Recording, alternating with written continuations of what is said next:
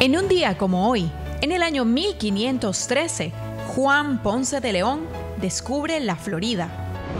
Con fecha de hoy, en el año 1940, durante la Segunda Guerra Mundial, Heinrich Himmler ordena la construcción del campo de concentración de Auschwitz en Alemania.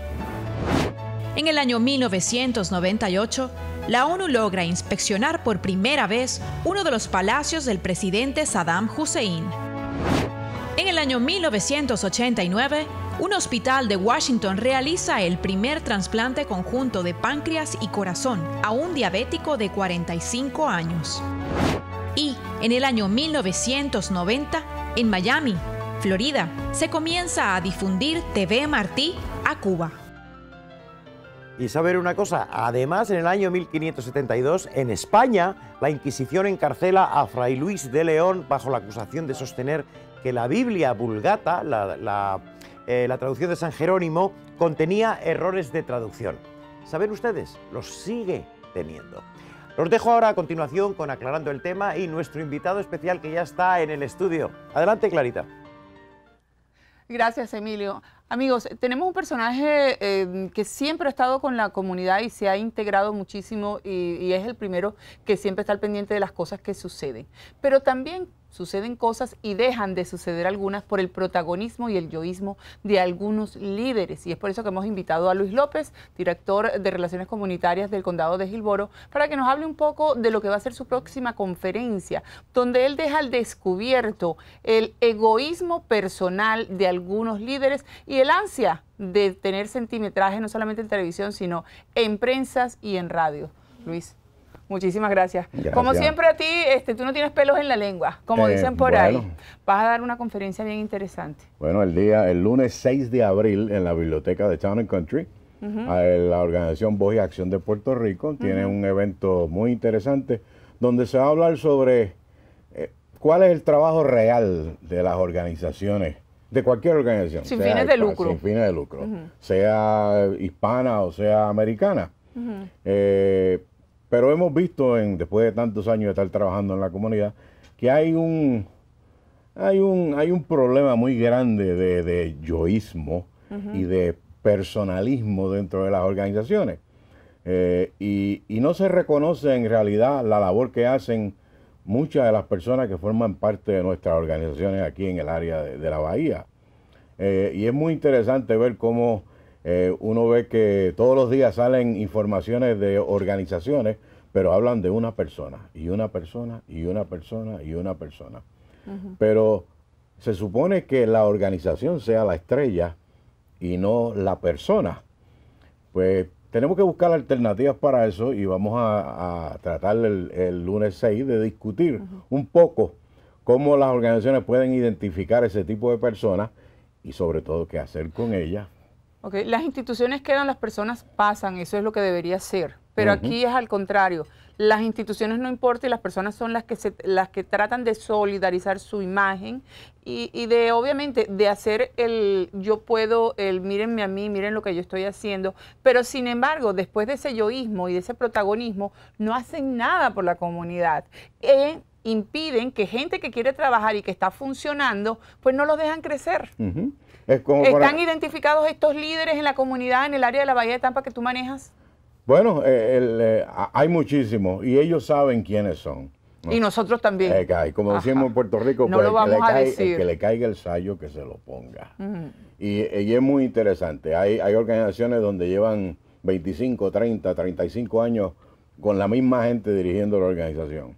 ¿Por qué? Es que la, la, esa organización no es capaz de evolucionar es que no es capaz de darle oportunidades a otros y sobre todo a las nuevas generaciones que vienen con nuevas ideas y nuevas cosas que pueden quizás aportar mucho más a la comunidad de lo que están aportando aquellos que siguen teniendo la idea de hace 30 años.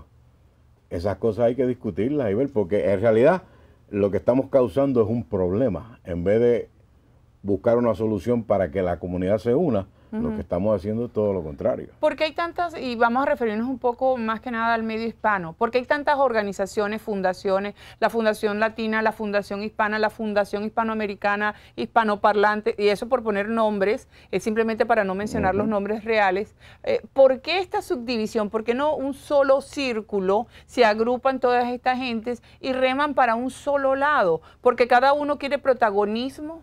¿De verdad ellos no ganan nada allá adentro? Bueno, eso, es, eso es otro problema. Por ejemplo, hay, muchas entidades donde, donde miembros de la junta de directores pues anuncian sus negocios y su... O sea que en realidad indirectamente se benefician de la organización.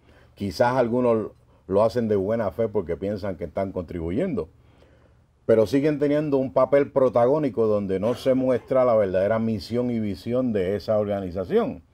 Si uno sale por ahí pregunta, de hecho, hay más de 100 organizaciones hispanas que no conocemos porque son prácticamente fantasmas, organizaciones fantasmas, solamente en papeles. Ahora uno le pregunta a cualquier miembro de esas organizaciones, ¿cuál es la misión y la visión de ustedes para nuestra comunidad? La mayoría de ellos no tienen ni idea de qué es eso. Pero siempre te dicen ayudar a la comunidad. Ayudar a la comunidad, sí, bueno, hey, ok, ¿cómo? Y es, muy fácil, podríamos preguntarle a cualquiera de las organizaciones que existen hoy día, ¿qué cambios ha causado el trabajo que usted hace para la comunidad hispana. ¿En qué ha mejorado la comunidad hispana? ¿Cómo se ha beneficiado la comunidad hispana con los trabajos que hace su organización? Nadie puede dar una respuesta a conciencia de que sí han hecho algo para cambiar y buscar la forma de unir a la comunidad hispana. Sí tenemos diferencias, somos 22 países con diferentes culturas y diferentes formas de ser, pero eso no significa que no hay formas de unir a la comunidad para trabajar juntos por, muchísimas causas. Y de hecho, uno de los problemas grandes que tenemos es que no hemos adelantado mucho en, nuestra fuerza eh, en la comunidad, precisamente porque no estamos unidos. Luis, ¿se premia verdaderamente el talento y la productividad de, los hispanos aquí o se premia o estas premiaciones que vemos es simplemente por amiguismo? Eh, yo diría que es mucho más el amiguismo y las elecciones de dedo. Pues no, vamos a nombrar al fulano y fulana con tal... Al que, le, al que le toque el sallo que se lo ponga. Y, y, entonces dicen allá y hablan de muchas cosas que han hecho cuando es totalmente falso. Se sacan 25 mil fotografías y selfies y se los ponen, ah, no, porque mira, yo estoy aquí yendo para esta actividad que va a cambiar todo. No, no, no existe nada de eso. Y por ejemplo, hay muchas organizaciones muy bien intencionadas que te dicen, pues, vamos a, tenemos una beca de 500 dólares o 1000 dólares. Vamos a ser realistas. ¿Para qué dan 500 dólares o 1000 dólares a un muchacho que entra a la universidad? Eso no lo dan ni para comprar los libros. Luis, nos tenemos que ir nuevamente la hora y el, día de la Comenzando a las 6 de la tarde en la Biblioteca Pública de Town and Country allí en Paula Drive, al lunes 6 de abril. Bueno, pues ahí vamos a estar presentes. Muchísimas gracias. y nos queda mucho más por hablar porque la próxima vez le vamos a poner el dedo a la política local. Señores, es tiempo de irnos a una pausa, pero ustedes no se vayan porque regresamos con la primera parte del horóscopo con Emilio. También más adelante, la chica bomba desde Orlando, solo aquí en Buenos Días Latino. Yo me quedo con Luis López.